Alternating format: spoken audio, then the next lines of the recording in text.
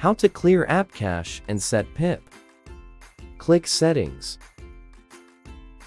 Click Application Info. Scroll down to find the app you want to erase data from. For example, Netflix. Scroll down to Storage and Cache. So you can clear storage and cache here.